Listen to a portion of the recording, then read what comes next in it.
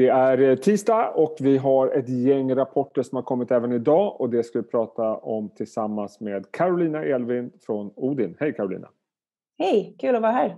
Väldigt kul. Eh, du, det är inte någon jättebra dag att komma med rapport. Börsen är väl ner en 2,5 procent ungefär när du och jag pratar. Vi får se hur det utvecklas. Men eh, lite motvind helt enkelt för de som rapporterar.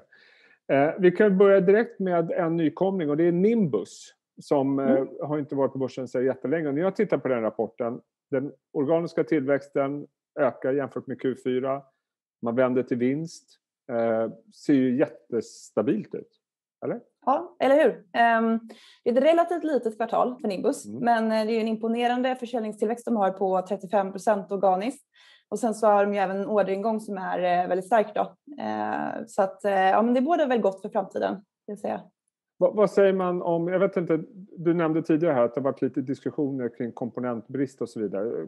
Kommer det fram någonting om det och hur allvarligt är det för, för Nimbus potentiellt? Ja, men det har ju varit lite skriverier om det för båtbranschen som helhet. Sen så har det inte mm. diskuterats så mycket om det i, i, relation till Nimbus då. De har ju tidigare nämnt att de inte har märkt så väldigt mycket av det.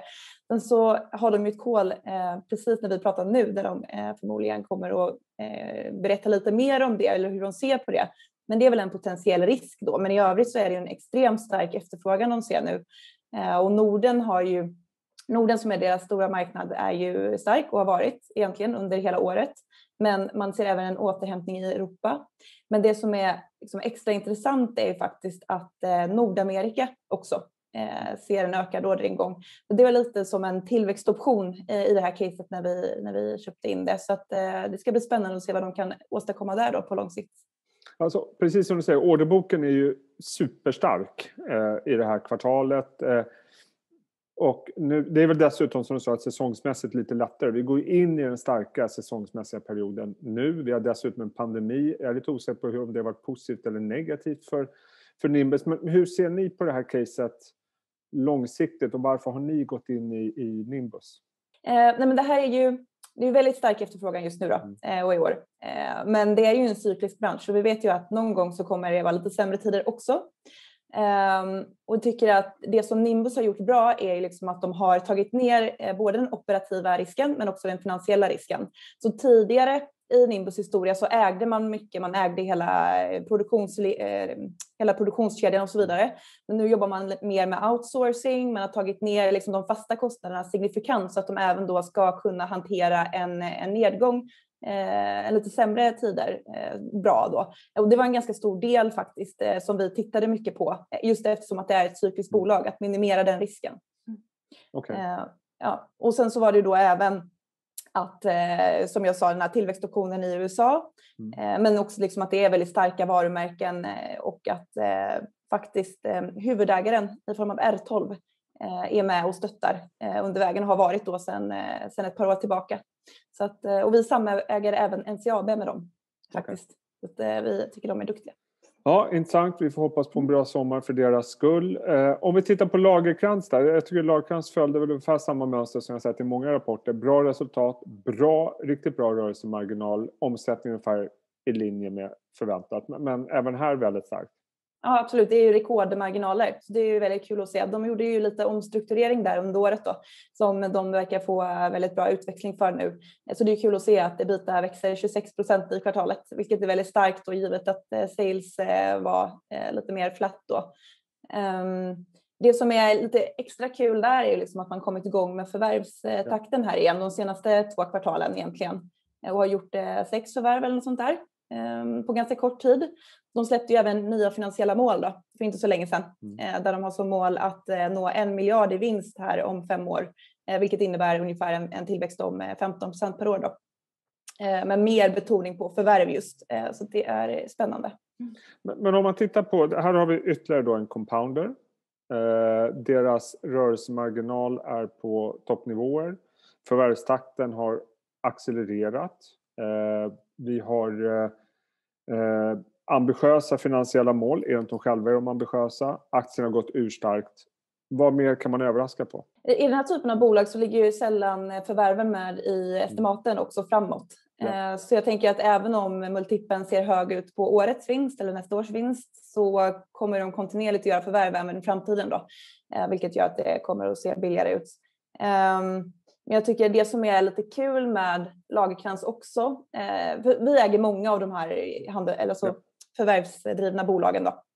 Men det som, är, som gör att Lagerkrans sticker ut lite är att de äger en större andel produktbolag. Då. Så att eh, egna produkter som andel av deras försäljning är mycket högre än i en del andra liknande bolag. Då. Okay. Eh, och det här är liksom extremt nischade produkter med ofta ledande positioner på, väldigt, på liksom, eh, nischade marknader. Det kan vara allt från liksom, ketchuppumpar som du ser på McDonalds till vassklippare till eh, sprinklersystem. Så att det är liksom Eh, Eh, det, det, är roliga små bolag som de, som de köper och sen utvecklar. Eh, så eh, det, det, är en intressant tillväxthistoria för över tid. Och de har levererat väldigt bra avkastning till sina aktieägare över en väldigt, väldigt lång tid. Då. Vart ju även tidigare en del av Bergman och Beving som du vet. Och det är också ett bolag som vi ägde faktiskt i Odin Sverige när den startade för 27 år sedan. Så att vi är långsiktiga ägare i de här bolagen. Bra. Eh, du, vi avslutar dagens rapportrunda med eh, Sweco. Eh, var väl väldigt mycket som väntat såg det ut som när jag tittar på siffrorna. Jo, men det var det. Men det var väl också lite bättre på organisk tillväxt än väntat. Okay. Så den var väl justerad för säsong var det ungefär flat year over year då. Um, när det var förväntat att vara lite negativt. Så att det ser ut att vara en återhämtning ändå, uh, lite starkare än väntat. Men det är fortfarande lite tyngt av pandemin. Men så är ju, uh, de hade lite problem med Tyskland där under förra året och tog en nedskrivning och sådär. Uh, och där har de tillsatt en ny ledning som ska få ordning på det, på det området och ser ju faktiskt ut att förbättras då. Ehm, jag tycker om man lyfter blicken så har ju Sweco varit väldigt framgångsrika i att expandera geografiskt historiskt. Och det är också en så kallad compounder ehm, som gör liksom kontinuerligt eh, massvis med små förvärv. Då. Och där finns det ju otroligt mycket mer att ta tror jag, även nere i Europa. Ehm, så det är liksom en lång tillväxt, eh, tillväxthistoria det här. Och sen så har de ju liksom en en väldigt framgångsrik modell. Då. Det syns inte, inte minst eh, på marginalerna i den nordiska delen. Då. Mm. Eh, att de har en väldigt framgångsrik decentraliserad modell. De skriver ju själva att eh, pandemin har haft liksom en signifikant effekt på tillväxten, en negativ sådan. Hur ska man se på den här typen av bolagen efter pandemin? För det är ju ändå mycket fokus på infrastruktur, eh, vilket många har pratat väldigt många år om att investeringarna, finansiella, finanspolitiska investeringar kommer att öka och så vidare. Så och man ser en liten vändning redan nu. Kan det här bli liksom en potentiell vinnare på den världen vi får efter pandemin? Jo, men det tror jag. Och jag tror också att liksom den, eh, de, den typen av investeringar eh, pågår under väldigt lång tid. Det handlar ju också om liksom övergången från, eller till ett mer hållbart samhälle. Eh, och det är liksom enorma investeringar som ligger i, i de områdena och som Sweco kan gynnas av under en väldigt, väldigt lång tid. Så jag tror att det här är liksom de kommer ha en medvind på efterfrågan över en lång tid, liksom, även om det på kort sikt eh, kan variera lite. Då. Eh, vi, vi, lämnar dagens rapporter och så ska vi titta på ett par andra bolag. Det första bolaget är en aktie som ni har ökat i senaste tiden och det är eh, fina, fina Sectra. Eh, varför har ni ökat i den? Ja, nej men Sectra är ett bolag som jag har följt under en längre tid. Eh, och ett, eh, ett bolag som jag verkligen gillar. Jag tycker de är extremt duktiga. Mm. Eh, de har liksom ett starkt kundfokus och, och, bra service och är liksom, ja, de sätter kunden i fokus och har då varit väldigt framgångsrika på att ha nöjda kunder. Då liksom. Ehm, ja, det som jag tycker är mest intressant med Sectra just nu är faktiskt att USA som är en stor marknad för dem Eh, har, de har verkligen lyckats att få igång sin försäljning där. Så nu är faktiskt det, eh, USA deras största marknad. Eh, tidigare var det Sverige då. Men det är en väldigt, väldigt stor marknad. De har fortfarande en relativt liten marknadsandel där. De fick ett ehm, FDA-godkännande för deras relativt nya produkt eh, för digital patologi där under förra året. Eh, så vi ser liksom en väldigt stark orderingång då. Och inte bara på den produkten utan på deras eh, andra bildhanteringsprodukt då också. Så de hade ju faktiskt under de har ju brutit räkenskapsår och under deras tre första kvartal här så ökade orderingången nästan 80 procent. Det är en stark efterfrågan vi ser för sektorn just nu. Sen så har väl tillväxten varit lite ehm, begränsad då på grund av att man inte riktigt kan komma ut och installera. Eh, för det är ändå delvis beroende av det då. Eh, men vi ser väl att eh, det finns goda möjligheter för sektorn att växa bra här de kommande åren också. Man kommer ju med sin Q4, jag tror det är i början av juni och det brukar ju vara säsongsmässigt det absolut starkaste kvartalet för dem. Och som du nämnde, orderingången rullande 12 månader är ju busstark. Och det här är under en pandemi och det här är ett bolag som håller på med digitalisering. Hur ser ni på möjligheterna för det bolaget igen när pandemin är över? För det känns ju som helt rätt område att vara i. Ja, eller hur. Det är verkligen en, en investering på liksom digitalisering av sjukvården mm. eh, som generellt sett ligger lite efter på det temat. Liksom.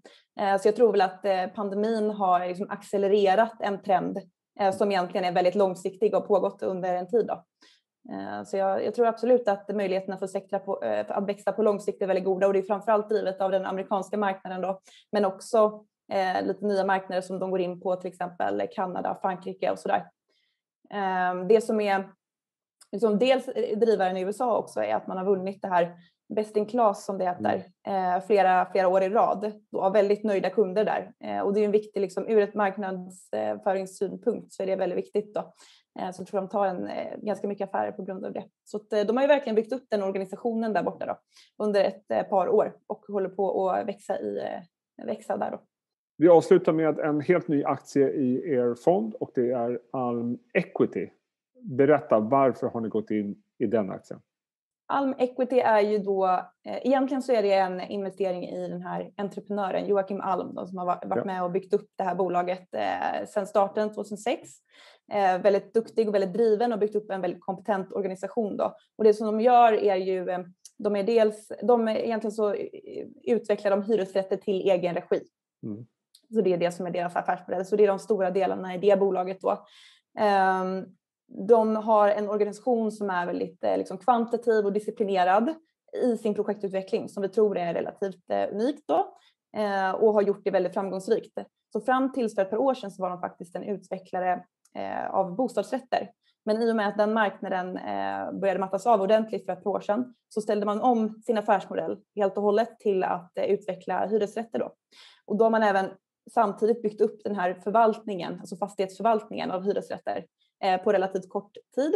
Och det bolaget, eh, delvis noterade man sen. Eh, man äger fortfarande majoriteten av aktierna i det här bolaget, då, Svenska Nyttobostäder. Men det har ett marknadsvärde runt 7 miljarder nu. Så man har verkligen synliggjort enorma värden där på kort tid. Men det här är liksom ett tillväxtbolag. Är det. Så de har en, en, en pipeline som är väldigt signifikant. Eh, och med ganska god visibilitet då fram till 2025. Och det här är liksom Stockholm, det är attraktiva områden, nära kommunikation och ehm, eh, tunnelbanor. Eh, och det är även hyresrätter då som är, som är en, en het tillgång. Så att, eh, jag, tror, tycker det är ett väldigt spännande case som jag tror har gått under radarn för många faktiskt. Aktien har ju gått bra och, och, den fick ju en skjuts här, eh, vad var det förra veckan, när de eh, meddelade att man avser att förvärva Järntorget byggintressen tror jag det heter. Vad är det för typ av affär och hur eh, signifikant är den för Alm Equity? Jo, men det, jo, men det är väl en ganska liknande affär. De har också byggrätter eh, och är liksom en, en, projektutvecklare och som jag tror har även för avsikt att eh, köra lite egen förvaltning. Då.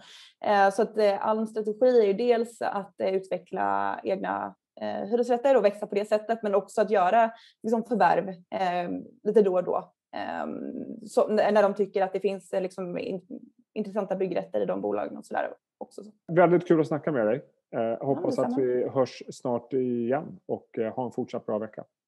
Detsamma. Ha det bra.